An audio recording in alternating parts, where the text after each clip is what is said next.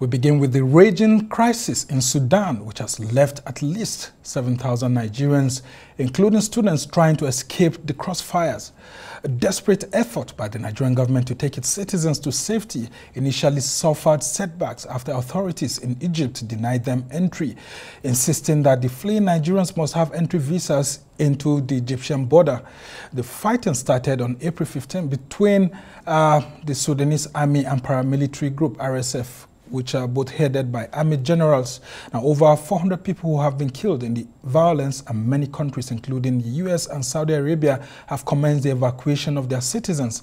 Meanwhile, in a joint press statement, the Ministry of Foreign Affairs and the Ministry of Humanitarian Affairs Disaster Management and Social Development at the end of an assessment of the situation noted that the first batch of 13 buses conveying 637 evacuees had arrived the identified safe borders at Aswan in Egypt, where they are undergoing necessary documentation and clearance before admission into the Egyptian territory for their eventual evacuation to Nigeria. The statement uh, further said that the movement of the second batch of 29 buses will commence on Saturday, uh, April 29, which is uh, today. The evacuees are advised to be at the designated locations with only one luggage. Meanwhile, uh, the Nigerian Air Force uh, has uh, dispatched an aircraft alongside um, airliner Air Peace uh, to the area where both the Air Peace and the Nigerian Air Force aircraft will be doing the evacuation from Saturday and uh, to help us understand and make sense of all that is happening, we have joining us now uh, the head of Department of Public and International Law, Nile University here in the Nigerian capital, Abuja. He's Dr. Siraju Yakubu. Thank you so much, Doctor, for joining us. Thank you very much for having Yes. Talk to us about this looming humanitarian crisis we have in the northeast uh, region of the continent. Sudan, which used to be the largest country on the continent before South Sudan was excised from it is now all at war with itself. And Nigerians are trapped there, many of them students who want to come back home. Although we have a huge number of Nigerians, people, some people say between four to six million uh, that have stayed in that country, lived in that country for, um, you know, several centuries. Uh, but the ones who want to come home now are the students and those who are uh, have gone to do one or two businesses there. So talk to us about all of these evacuation efforts, including the latest by the Nigerian government. Yes, uh, thank you very much once again for having me. And um, uh, you see, it is quite unfortunate what is uh, happening uh, right now in Sudan. Uh, I remember talking to a friend who's a Sudanese who was telling me at that time, I think about three years back, his concern that um, uh, the fact that uh, the former military ruler has been deposed. Mm, Omar al-Bashir. Yes, Omar al-Bashir. Uh, it's not that very good for the country, not because he was deposed, but the seeming instability. He specifically mentioned uh, him, uh, this, the head of the rapid, the militia. The RSF, Hemeti. Yes, Hemeti. Uh, General Dagalo. Exactly. He mentioned him as a destabilizing factor. And we, we can see for whatever reason um, this is happening in, in Sudan, I think uh, it is quite unfortunate having at least brokered uh, you know, some peace before and um, even on a transition to democratic rule. I think this war is a serious uh, setback to democracy in Sudan. And um, back to the main issue of uh, the, the humanitarian crisis. In fact, I think uh, this war uh, in Sudan is, will, will, be the first time, to my knowledge, that um, uh, fighting, serious fighting is concentrated in Khartoum, which is highly populated area with so many, with millions of people uh, living there, including uh, foreigners. Before it was in Darfur, it was in South, uh, southern Sudan, and, and so on. So we are seeing human, humanitarian crisis like never before in Sudan. Now, um, our students who are there, actually uh, our thoughts are with them and with their, and with their families. And um, what, what we'll say that uh, government should do everything possible for it to uh, uh, evacuate them back home because if you look at Sudan itself, it's surrounded by countries that themselves are not stable. Chad, Libya to the west, I think. Uh, if you look at um, Ethiopia, in Tigray region, it is uh, it is also having a serious crisis there. So the situation is unique. That uh, that the that the government is, uh, itself need need to act urgently. I'm so happy uh, to hear that uh, the government actually is uh, trying its best to bring uh, our our citizens back home. Yeah, I mean, with the latest information being that the government has sent Nigerian Air Force aircraft and then Air Peace, uh, which is a private airline now, will be heading to uh, Egypt to see how they can evacuate all of this. But talk to us about uh, the people who have been trapped there. And uh, the actors, the major actors, the two actors who are there, the two generals who are fighting have they broken any international law with some of the actions that they've been undergoing? If you look at it, a Turkish aircraft just uh, tried to arrive to pick people just when they had the ceasefire between yesterday and today. Mm -hmm. And they shot at uh, the Turkish airliner. And a lot of people are beginning to say, I mean, shouldn't there be a control between both sides when it has to do with, I mean, aircraft coming to evacuate people?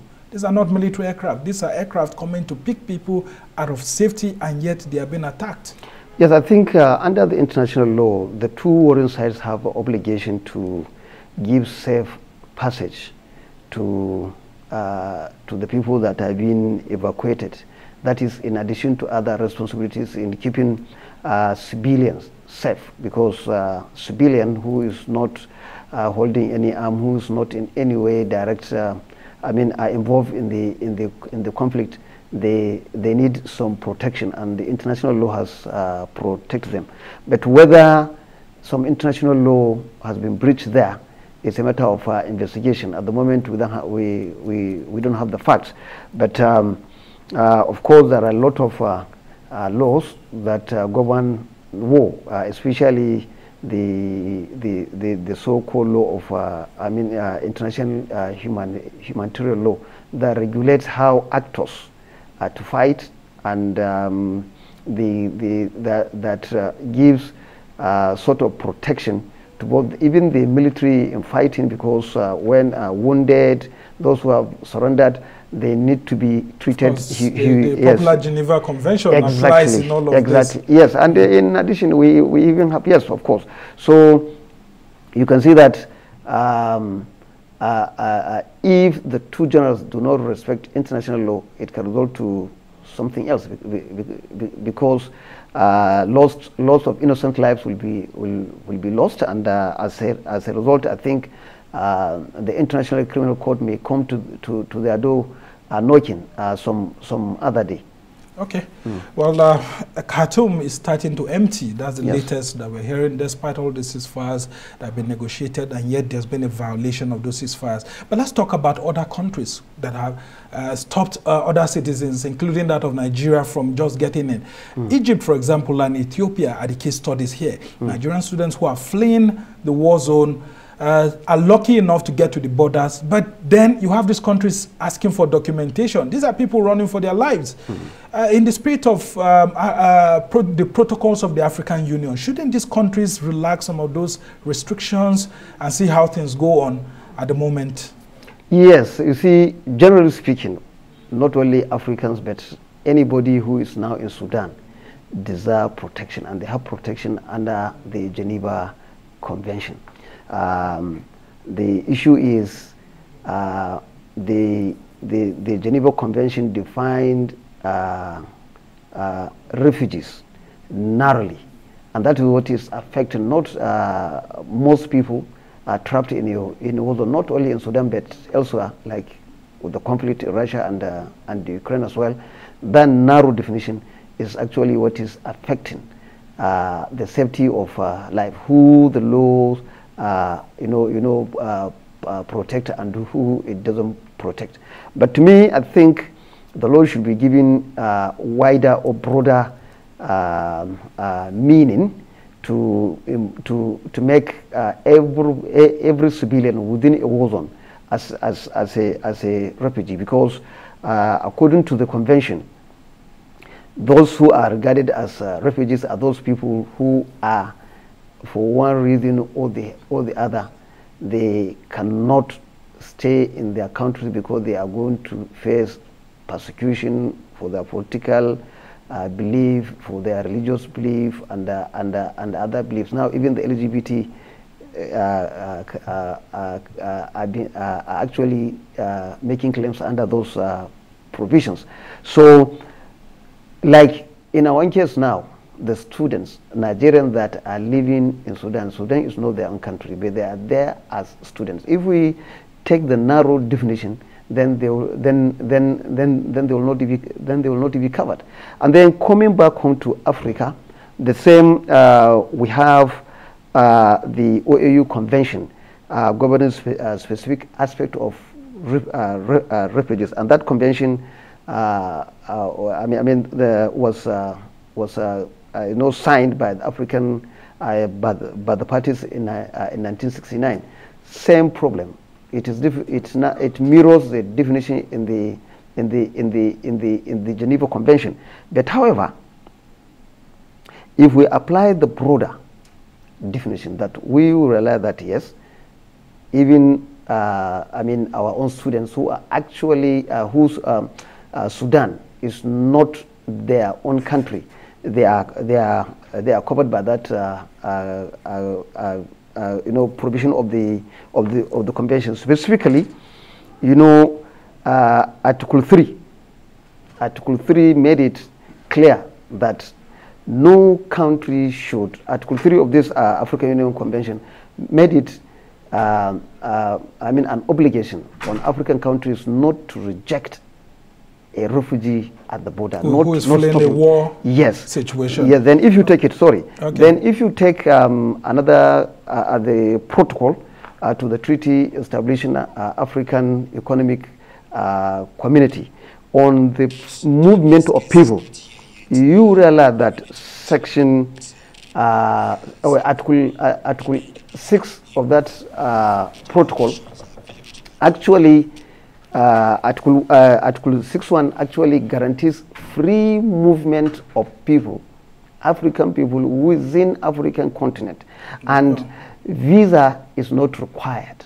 Visa is not required. That is during such a, a, crisis? No, no, no. When it is even peaceful, because this, this uh, protocol is to the convention on um, uh, free movement of uh, persons to do their economic activities, including study, including uh, research, including business, even at time of peace, because that will happen uh, when when there is peace.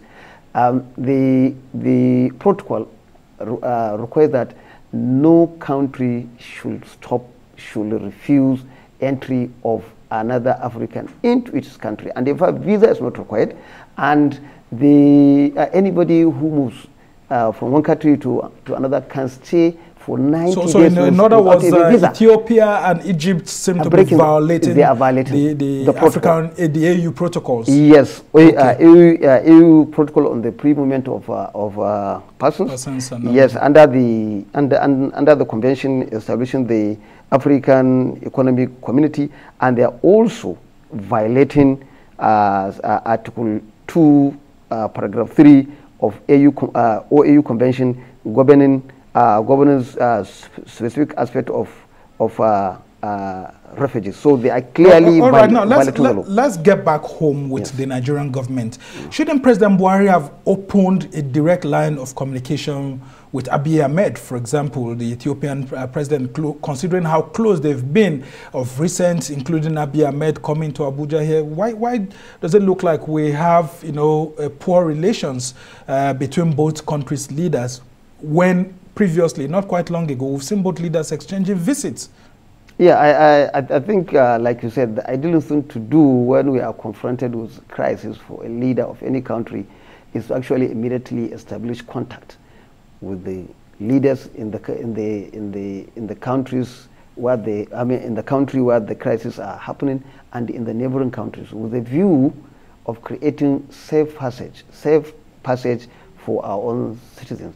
But I don't know whether that has been done or it has not been done. I don't know, but I know if it, if it has been done, definitely government would have issued a statement. So if it has been done and the government has not finished, uh, I mean, issued a statement, I think it is high time for them to, to do, to issue the statement now so that at least citizens will have confidence in, in, in yeah in well i mean with the one they issued yesterday there have been lots of controversies including uh, with the 1.2 million dollars that was sent out for uh, buses to be chartered. We heard that some of the buses stopped midway uh, and refused to go on. But this latest statement is saying that all is well and that the nigerian government is urging people to stop posting all sort of things in the social media. It looks like the government itself is embarrassed but sh shouldn't uh, citizens you know uh, voice their concerns especially those who are stranded there, who have been sending videos, including to Arise News, and we have to air some of them. Uh, what do you make of that criticism, which the government is trying to parry the $1.2 million sent for evacuation? Well, uh, not only government, uh, the government that is embraced, even us citizens actually, uh, uh, we are embarrassed by, you know, hearing that 1.2 million uh, dollars is um, actually, I know, released to hire just 40, uh, uh, 40 buses. And um, when I did some calculation, the, the, the amount per bus is about 22 million. I don't know how much uh, the, the, the luxurious bus uh, you know, uh, cost. Well, but at least it's, it's, a, it's a, huge so amount of money. But government has come up with an excuse that it is uh, a war zone, which is a reasonable excuse also because there's competing demand for the buses. What I think uh, we can say is that government would have taken actions, uh, action a long time ago when this uh, uh fight uh, broke out because obviously it was very clear that there was no end in sight uh, for, uh, for, the Yeah, I mean, the Minister of Foreign Affairs had said that there was no contingency plan because they didn't think that it would escalate to the extent. And people are beginning to question those who are actually in Nigeria's foreign ministry. Does it look like we're unprepared for the safety of our own citizens? Do we have to wait for it to get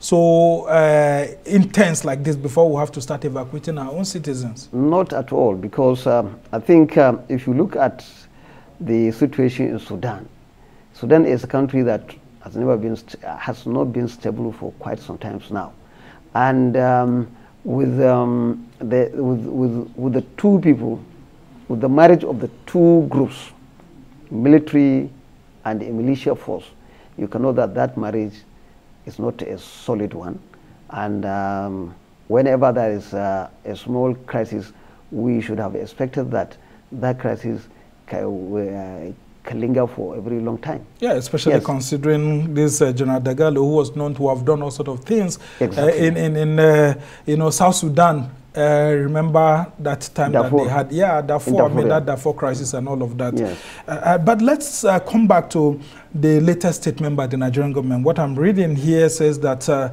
uh, some Nigerian students who found their way to the Ethiopian border were allowed entry into Ethiopia following the interventions of some Nigerian leaders. So apparently the line of communication has open. been opened uh, yeah. between that. Uh, but we're also having others helping out. I mean, the United Arab Emirates uh, is said to have ferried some of our citizens to Saudi Arabia from where they are going to uh, be, you know, lifted to Nigeria. let's talk about how this issue is one that points to our own lack of contingency plan for uh, our citizens who are in other parts of the world. Uh, what lessons can we learn from this? And then should we be depending on others to express their goodwill to us uh, before we take action? What can we do to learn from this situation? Well, well, Nigeria as a giant of uh, Africa, as we always call ourselves, I think we should have um, you know, plans. Plans including contingency plans because we talk about contingency plan if you have a plan. So it means that if we don't have contingency plan, we don't even have a plan. So we should be having plan. Our foreign affairs ministry should uh, buckle up. Uh, and then, well, we have to commend them. I know they are not sleeping, but at least they have to buckle up because um, lives are at stake there so that they should always plan they have information, of course. They have uh, a source of intelligence that should tell them in good time that crisis is brewing in a particular country. And we all know those countries that are not stable. We may not necessarily have plans for, to evacuate our citizens, for example, from the United Kingdom or from any European countries or from those American countries, countries, because they are stable countries. Mm. But those countries that are not stable, especially in Africa and in Asia, we should immediately, we should uh, at all times, sorry, have a plan, a plan. Budgeting money, budgeting money does not mean that it has to be released, or even if it's released and it's kept somewhere uh, because of the urgency involved in a, uh, in a crisis situation, it doesn't mean that uh, uh, it should be used. So any money that has not been used can be returned back to the treasury at the, at the end of the year, and then plan again, keep some money, make a very good plan. How are we, if we are confronted with this, how many Nigerians are on ground?